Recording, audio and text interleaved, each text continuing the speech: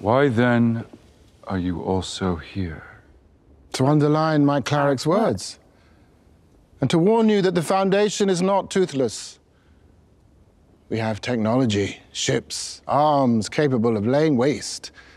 We sue for peace not because we fear we will lose, but because we know with mathematical certainty if there is war, we shall win. Hmm.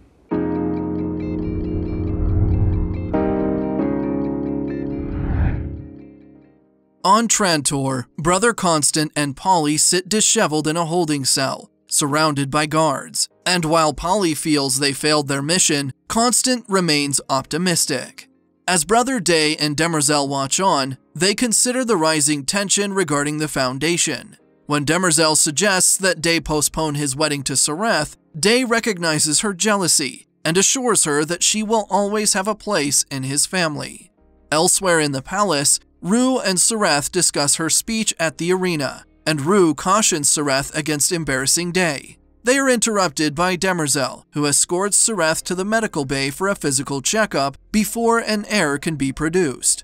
On the way, Sareth confronts Demerzel about being a robot, and she doesn't try to hide the truth. Demerzel explains that, to her knowledge, she is the only remaining robot in existence. In the past, robots were bound by three laws that prevented them from harming humans, directly or indirectly. But now, her only directive is to serve the Empire. When Sareth asks whether or not Demerzel will serve her as Empress, she avoids the question, simply stating that she will always serve the Empire. During Sareth's physical, the doctors begin the preliminary process of artificial reproduction, but Sareth refuses, stating that she will only bear an heir once she is legally married today. As Demerzel tries to convince her otherwise, Sareth tries to embarrass her by bringing up Demerzel's romantic relationship with Day. In response, Demerzel ushers the medical staff out of the room, demanding a private conversation.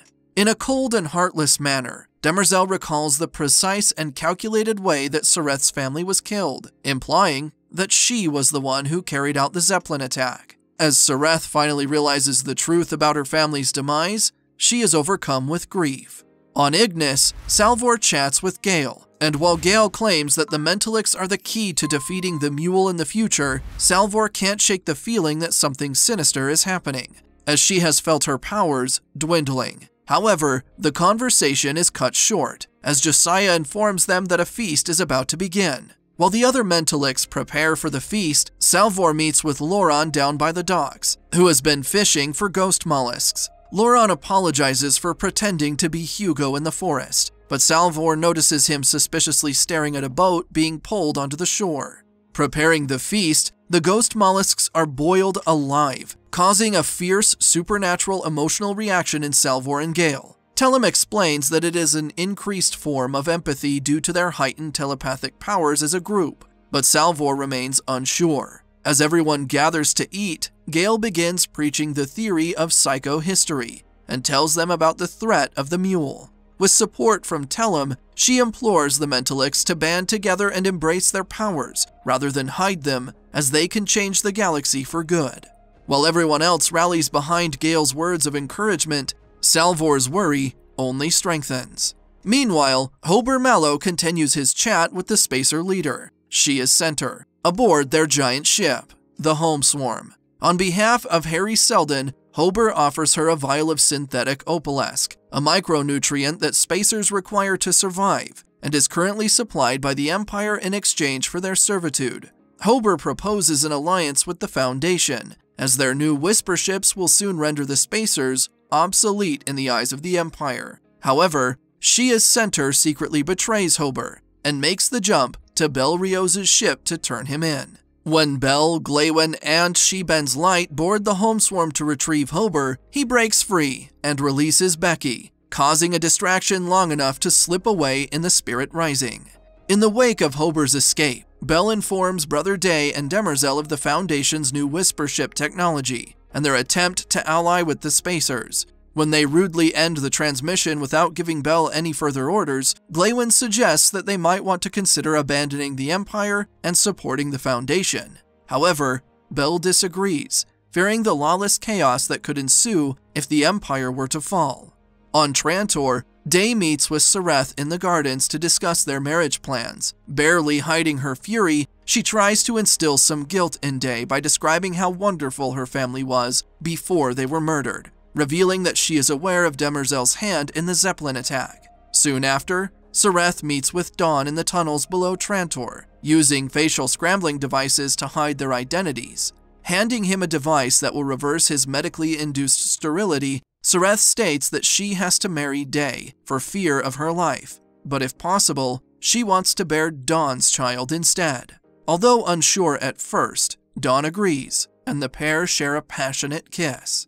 At the same time, Constant and Poly are brought from their holding cells to the throne room to meet with Day, Dawn, and Dusk. Although Poly pleads his case, things get more interesting when Constant begins to speak, and a partial hologram of Hari appears, which was planted in her mind back inside the vault, stating that his full consciousness is back on Terminus.